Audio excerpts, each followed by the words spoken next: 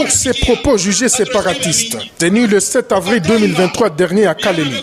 Une plainte contre l'honorable Christian Mwando a été déposée au parquet général du Haut-Katonga ce 19 avril 2023 par le président national du Rassemblement des jeunes pour le développement du Tanganyika, RJDT en cycle.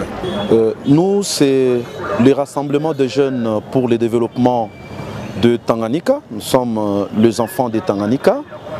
Nous sommes venus ici déposer la plainte en tant que jeunesse suite aux propos de Mwandon Simba, presque séparatiste, presque tribaliste, car dans ce propos, il a dit que les jeunes sont conscients et sont d'accord de couper les Katanga.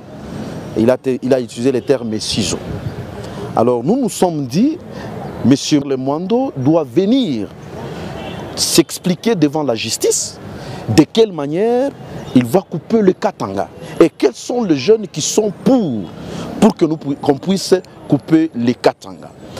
À tous les hommes politiques qui sont en train d'utiliser la jeunesse, manipuler cette jeunesse dans des fins propres en ce qui concerne les avantages ainsi que leurs intérêts personnels. Alors nous, nous sommes une jeunesse consciente, on s'est dit non.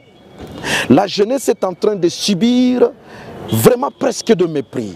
Cette frange de la jeunesse motive son action en comparant la communication du député national congolais Christian Mando à celle du révérend pasteur Ngoï Mulunda. Il y a Ngoï Mulunda qui avait parlé le même propos.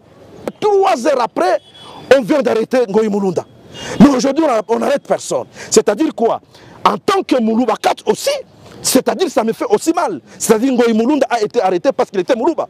Alors là, on ne peut pas accepter. Aujourd'hui, Kagame, monsieur le journaliste, de vient de parler qu'il a, a des terres au Congo. Mais euh, euh, ça, ça, ça n'inquiète personne. Vous sentez que personne n'est autour de ça. Personne n'en parle. Et notre pays, le Congo de Lumumba, le Congo de Kassavou, le Congo de, de, Kimbangu, le Congo de Kisekedi, Wamulumba, le Congo de Baba Chungu, nous disons que le Congo ne peut jamais être coupé.